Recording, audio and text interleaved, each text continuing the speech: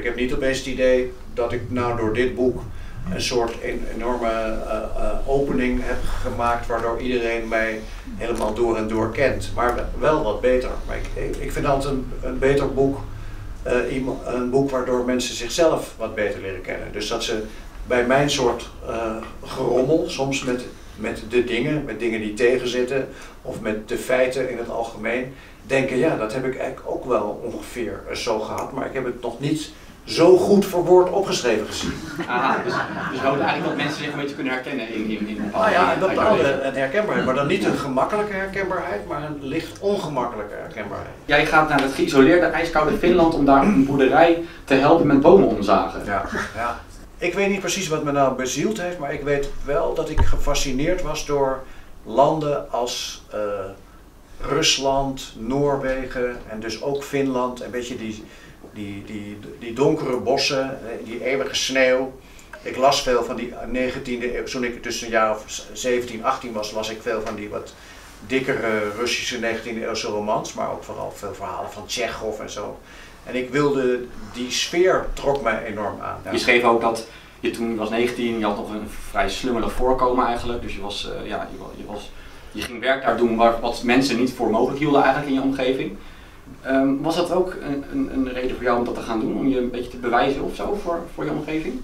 Ja, ik denk meer, meer tegenover mezelf. Het was, uh, dat, staat ook, dat staat ook in het boek. Ik was, uh, er was ooit iemand, er was een uh, schrijver die introduceerde mij op een avond. En dat was een half jaar voordat dit boek uitkwam. En die wist ook helemaal niet waar het over ging.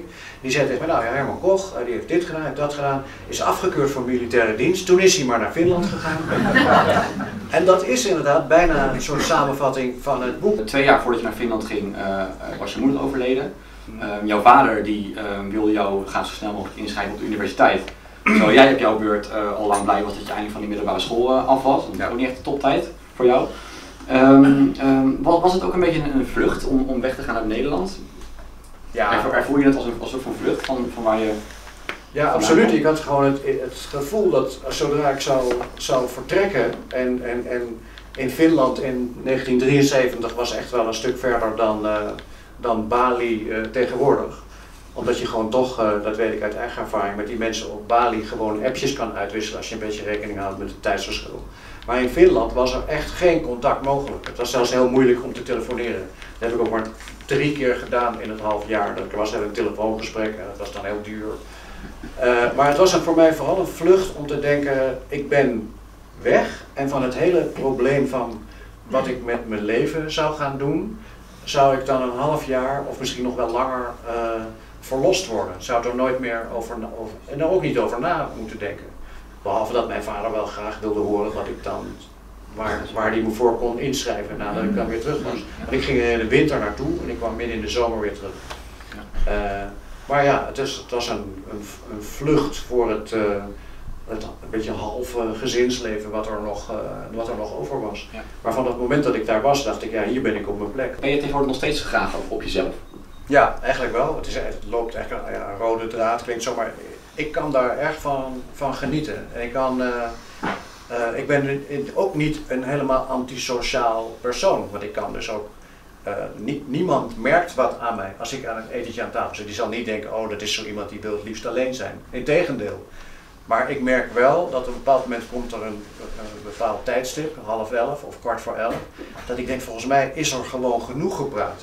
Het is, ik, en, en mijn hoeveelheid uh, woorden uh, is, is uh, gewoon op. Zoals je, zoals je bij een telefoon een, een signaaltje, je MB's of wat er dan ook is, het, het, is bijna klaar. Het is niet zo dat het nou, denk ik, door dat, dat er nou mensen, mensen vinden het dan leuk om je een beetje te leren kennen of zo. Maar de, de echte vriendenkring, die, ja, die neemt toch wel toe, die neemt niet af. Er zijn er een paar, ik zeg dat ook wel eens tegen mijn, tegen mijn vrouw, zeg ik, dan, dan is er bijvoorbeeld iets gebeurd.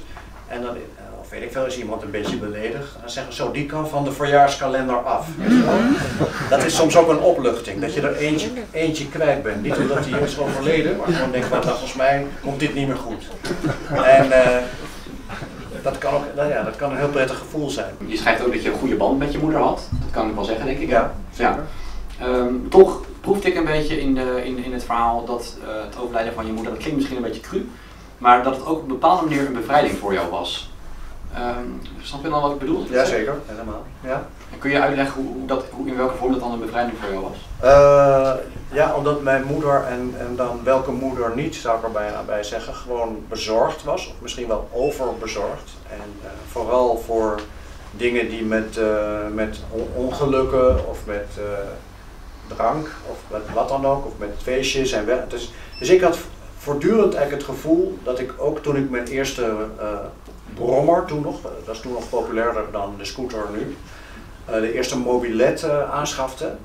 Dat ik op mijn zestiende, dat ik dacht, ik moet toch gewoon oppassen dat ik er niet een enorme schuiver mee maak of dat ik onder een vrachtauto terechtkom. Dat zou mijn moeder niet overleven. Dus, en op het moment dat zij er niet meer was, toen was ik dus 17, was bijna 18. En opeens merkte ik, toen ging ik met een, ik had helemaal geen rijbewijs en ik ging een motorfiets kopen. En ik, bij wijze van spreken gebeurde er steeds dingen waarvan ik dacht, ik vlieg nu al, ik ben nu al voor de derde keer bijna uit de bocht gevlogen. En dat had ik daarvoor nooit gedaan. En dus de bevrijding zat hem erin dat ik dacht, als ik nu voor ongeluk, of ook zelfs maar uh, niet thuis kom, en dan kan er ook van alles gebeurd zijn, is er op dit moment niemand die de politie gaat bellen. En ook niet echt iemand die daar heel van, erg van ondersteboven zal zijn. Ja, mijn vader ook wel. Maar ik had het idee dat bij hem meer een, een afgebakend verdriet zou zijn. Gewoon van, nou ben ik die kwijt, ben ik die ook nog kwijt. Maar niet zoals een moeder uh, dat gewoon haar hele leven met zich mee uh, draagt. Nou is het ook zo dat jou, uh, jouw vader, volgens mij was je in jaar 14 geloof ik, toen je erachter kwam, dat jouw vader een affaire had met een andere vrouw. Een oudere mevrouw ook, die noem je de weduwe. Ehm, je vond haar natuurlijk helemaal niks uh, toen jij 14, 15 was. Uh, volkomen begrijpelijk. Uh, ik vond het ook een vreselijke vrouw als ik het zo, zo las. Maar ja, je moeder was op een gegeven moment overleden en jouw vader was nog steeds met, met de weduwe. Op dit moment ben ik wel blij dat waar we het nu, omdat we nu zo echt zo over hebben, over mensen vanuit mijn naaste omgeving, mijn familie, dat ze er inderdaad allemaal niet meer zijn en dat we gewoon in een boekwinkel heel vrijheid erover kunnen. Dat er niet opeens, dat jij bijvoorbeeld zegt, het is heel leuk, de weduwe, we hebben een verrassing voor je Herman, zes keer! Niet. Ik kan het tegenover mijn moeder, die er niet meer is, niet maken om een gewoon normale relatie met die vrouw aan te gaan. En toen, uiteindelijk ben ik dan toch gegaan en dan heb ik dan ook later gehoord dat ik, uh, dat kan ik niet meer precies herinneren, maar dat ik niet, niet al te vriendelijk, al te toeschietelijk was bij die eerste ontmoetingen. Maar dat zij daar nog enig begrip voor had kunnen opbrengen en mijn vader ook. En dat ook wel gedacht hebben van misschien moeten we het toch niet doen en niet forceren. En dat ik toen op een gegeven moment toch objectiever ben gaan kijken en dacht, nou, ze heeft ook wel aardige kanten. Dat, is, dat, dat gebeurt gewoon. Mijn vader was, was niet zo'n uh, drinker, maar die nam dan ook een klein beetje. Maar ik was toen, ik, ik, ik was dan uh, net 18, hè, en ik zat nog in, dat, in dat, die paradijselijke toestand. Dat je dan bij het eten bestelde je dan geen uh, biertje. En om iets sterkers te bestellen was helemaal niet dan. Maar een glas witte wijn. Meestal van die ijskoude Riesling. In zo'n beetje gewoon eetcafé-achtig restaurant in Amsterdam-Zuid. Zo moet je het voor je zien. En uh, wat ik dan deed, was uh, dat ijskoude glas, voordat het voorgerecht kwam, had ik dat leeg. Op een nuchtere maag. En dan dacht ik al van, ah, er kwam er zo'n heel, die bekende ontspanning over, over me. En dan zei ik tegen mijn vader, zei mijn vader, heb je het nu al leeg? Ja, het is een beetje jammer om nou te eten en er dan niks bij. Dus dan mocht je er nog geen bestellen? Dus ik er nog geen bestellen. Ja. En als ik dan geluk had, kon ik die ook wel snel. En op dat moment, dan verheugde ik behalve op dat ik het eigenlijk wel leuk vond om met mijn vader met z'n tweeën in zo'n restaurant te zitten, verheugde ik me op dat snelle dat snelle achteroverslaan. En dat is eigenlijk iets wat bij mij nooit is uh, overgegaan. nee, in de zin van dat ook, ik ben, uh, als wij in een café zitten, dat wie er ook met mij is en ik bestel een biertje, zegt, heb je die eerste nu al op? En daarna word ik ook gewoon rustiger. Denk maar, de, de eerste moet even goed aankomen. Je hebt verteld dat van de geboorte van jouw zoon ja. in 1994, dat je toen dacht van nu moet ik uh, me ja, misschien wat verantwoordelijker gaan uh, gedragen. Ja, maar het is ook wel zo, dat was wel echt het definitieve breekpunt, uh, geboorte van, van een eigen kind. Maar het moment dat ik een, dat onze zoon geboren was, zijn er allemaal van die dingen gebeurd als dat wij allebei niet meteen, maar zijn gestopt met roken. Dat je dan alleen nog maar op het balkon gaat roken, niet meer in de auto. Dat je überhaupt sowieso denkt, ik moet er nu voor zorgen dat ik niet voor mezelf meer, maar voor die andere persoon zo lang mogelijk in leven blijf. Bij het schrijven of schrijven is het ook wel zo dat om echt goede boeken te schrijven moet je eigenlijk een saai leven leiden om het voor elkaar te krijgen. En een saai leven betekent dus eigenlijk dat we goede boeken kunnen verwachten dan. Ja, dat is, dat is wel gebleken. Nou, jullie weten wat jullie moeten doen allemaal. Wie nog niet gekocht heeft, eh, ik zou hem eh, vooral kopen inderdaad, een, eh, een aanrader. Om een voorbeeld te noemen zou ik dus nooit een volgend boek schrijven wat weer autobiografisch is. Dan zou ik denken dat kan dan wel weer een keer over vijf jaar of over tien jaar. Dus het is weer een reactie. Ik heb, omdat ik dit boek een lange, wat langer heb laten, laten liggen, kan ik hier wel meedelen, ik wil er niet te veel over zeggen wat, dat het volgende boek eigenlijk al af is. Ja, nou niet zo. Ik heb, ik heb het zo. Kijk, je doet, je doet gemiddeld een bepaalde. Ik vind het wel goed om dat zo te zeggen. En dat boek kan ik van, van zeggen dat het zowel heel anders is als dit, maar ook anders dan die voorafgaande reeks. Al zit het alleen maar in dat er veel personages in voorkomen die allemaal bijna door als een soort klassieke derde persoon, al wetende verteller, is het net niet gevolgd worden. Het, is bij, het ziet het heeft bijna iets van zo'n soort The Crown-achtige Netflix-serie. en ik gok er ook wel een beetje op dat ik daardoor net zo gebeld ga worden. Dus ik heb gemerkt, zeker bij mijn eerste echte roman, dat het mij hielp als ik een paar glazen dronk. Net zoals het mij hielp om in een disco of club op een meisje af te stappen. Dan had ik niet eerst twee glazen thee gedronken, maar iets heel anders.